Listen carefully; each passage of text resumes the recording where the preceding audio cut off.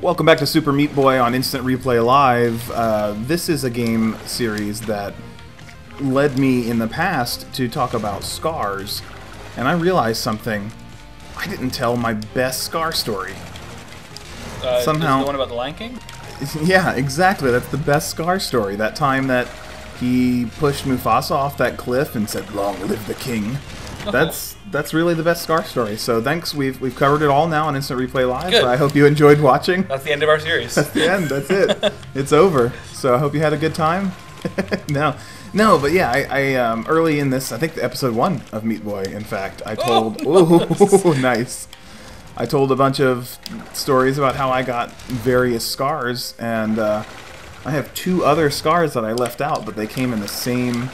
Well, I mean, I probably have a lot of, I guess, little scars, but two other considerable scars. They came in the same incident. Um, I was working a network installation job for a hotel in a nearby city, and um, what we were doing was we were a super like amateur company. Basically, we we won by getting the lowest bid on it because we clearly had no idea what we were doing. And um, I mean, we knew how to install a network. We just didn't know like the amount of effort we'd have to put in, I guess.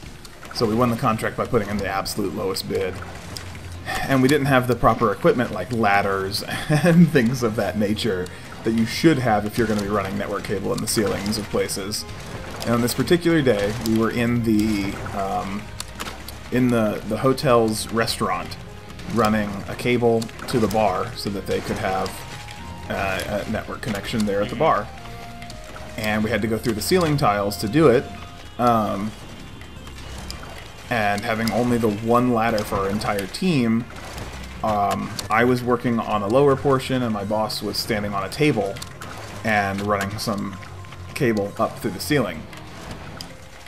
And I saw him do that, and he left at one point saying, "Hey Nick, can you finish this up? Um, such and such has the ladder, but he's on the roof right now, so you're gonna have to wait for him to be done." And I thought, okay.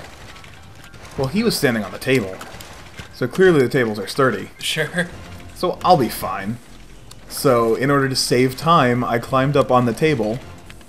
I was almost completely in the ceiling, like, you know, my upper body, I mean, my, my upper torso was elevated to the point of being in the ceiling. When the table gave way, um, toppled to the side and threw me to the floor. And I just remember, like, that, that almost blackout moment, like everything kind of went blurry and dark. and my head had when it when it hit that is, uh, and my head bounced a little bit, Yeah. and Ooh, yeah. and then I like realized that I could stand up. I was okay enough to do that, so I kind of you know staggered a little bit, got back up onto my feet, and there was this was at lunchtime, so there was like a restaurant. Well, not a restaurant full. It's a hotel restaurant, and they're always kind of empty, but there were patrons and workers there. Um, a number of people, and they kind of gathered in this this hemisphere around me. And I uh, I touched my hand to my chin because that's where I felt like the worst impact. And I I looked down at my hand and there was no blood, and I was like, oh okay, I'm all right. And I took a step towards the group, and everybody had the like deep, wide-eyed stare at me. and I was like, what? What's the what's the problem? Um, am I bleeding? and uh, I checked again. Um, oh no, that's not what I said. I said, uh, I'm not bleeding. I, I think I'm okay. And they said, no, you're not okay. And they just kind of shook their heads. And I, I checked again with my hand, and this time, from putting it to my chin and pulling away, even though it was completely dry before, it came back 100% soaked in blood, like all the way down my arm. I had completely Oh split my, gosh. chin open. There was a um, electrical junction box sticking out of the wall where Oh. I fell, and my chin landed perfectly on the corner of the box, so that it just tore right up under my mouth. Um, I mean, just like a imagine like a, a wedge shape just driving up in there, and it was completely split open.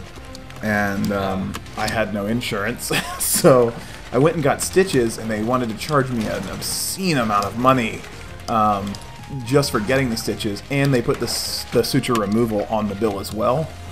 So in order to save myself a little bit, I removed the sutures myself a couple weeks later.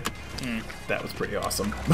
but but from there, and also banged my arm somehow during the fall. I don't know exactly where, but I have two good-sized scars from those two incidents, and the only time in my life I've ever had to get stitches. Wow. Yeah. I've never had stitches. I don't. Really? Yeah, no. Did you I- not have like wisdom teeth out or something? I feel I like never had my wisdom teeth taken out. Um, I did have my tonsils removed. Okay. Um, they probably don't stitch that. I don't think. Yeah. Maybe they do. I don't know. I don't remember. I was pretty drugged up. Yeah, seven I, year old.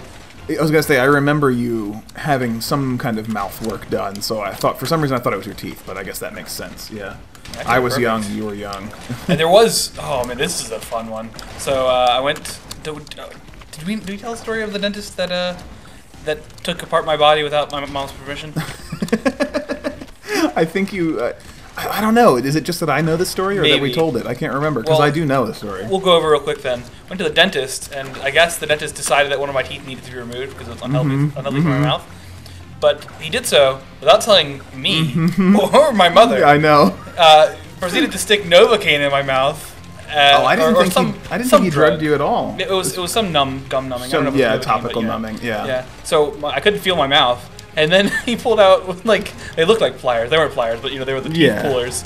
And I was just like, "What are you doing?" Yeah. And- but I couldn't talk because I was like, was my mouth was pulled open. Yeah. Oh She man. She was livid, man. I can't believe they did that without asking me. And I mean, totally reasonable. Like, you can't touch someone's kid like that. I mean, ultimately, she would have said yes, right? Like, Hmm. if he said, "Hey, this tooth has to go," but you have to go through the motions. And it would have been nice, nice for me to know because instead I was like, okay, what's he doing with that tool? Traumatized Wait a minute, what's that weird like? I could I could hear it, but I couldn't like feel it. I just felt like this wrenching, you know, like like the sound Oh, of like yeah. and it was just so bizarre, and uh, like no bedside manner at all. Like what children's Yeah. dentist has Right, no? right. Oh man, I keep missing that jump. I can't remember what dentist that was. I'm sure we stopped going. It was actually uh, one of my classmates, like grandfather Lennon. We only went like once or twice. Yeah, Um, yeah. I remember that trip though. I was there at the dentist that day. So we did the whole family dentist trip thing. Mm. Yeah. So that's funny. got some chocolate milk afterwards. I've I've never had anything. Oh, How do I remember that? That's such a weird thing to remember. yeah, that is.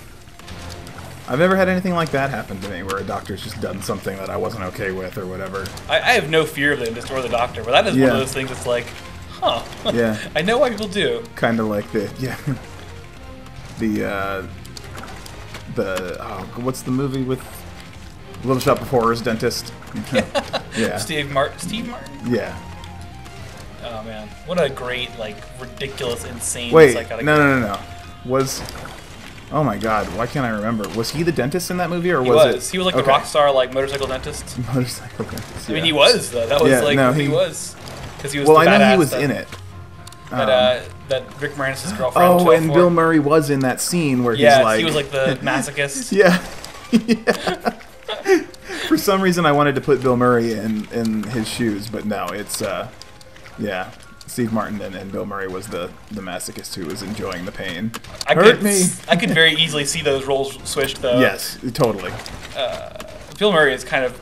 I could see him in so many different roles, which is weird because he does kind of the same performance every time. Mm-hmm. But it he works. Just fits It always he has works. That super everyman kind of feel to him. He really does. Yeah, he's always so good. I'm I was thinking of his performance in Scrooged as like when he goes crazy and is like kissing everybody at the end and that kind of thing, like.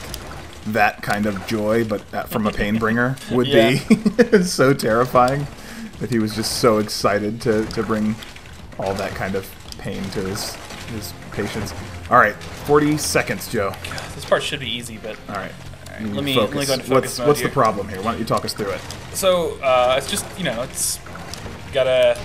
There's a different flow because there's a, there's a very stop go stop go rhythm here, Mm-hmm. which is different from the way most of the game plays, which is just go as fast as possible. So There you go. All right, all right. Oh, 17 seconds, Joe. all right, I got this. Here we go. One run to rule them all. I'm sure you'll make One it. run to I, bind them. I can't imagine you failing at this point. That would be ridiculous. You'll totally do it. Don't worry, everybody. Joe's got this on lockdown. Shit. He'll die. and that's the end. So thank you guys for watching Instant Replay Live, Super Meat Boy, and continue to uh, to leave us your nice, wonderful comments. We really appreciate those, and uh, keep coming back and watching too. That's Tell us what super you think these white bubbles are below. Oh yeah, are they maggot? Oh, I see a face on one. It is a maggot. Oh girl. Well, that answers that question. tell so us, tell us something else. Wow, wow.